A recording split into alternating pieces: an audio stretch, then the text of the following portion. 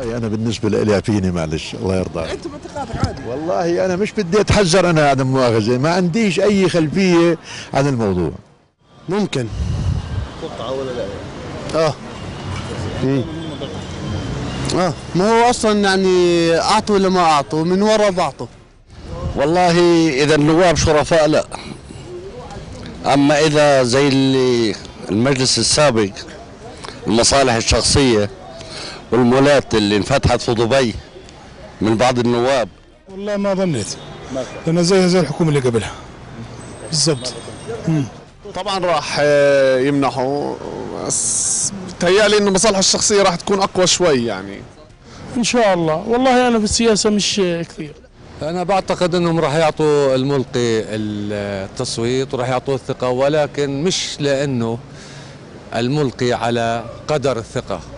لأنه نوابنا نفسهم مش على قدر الثقة. آه ليش ما ناخذ؟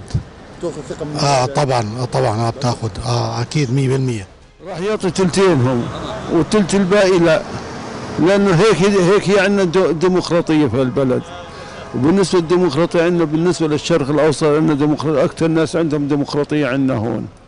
والله عادة مجلس النواب يعني بي- بيعطي الثقة لأي رئيس وزراء بدون حتى لو في معارضين بالنهاية رح يفوز هو أو غيره.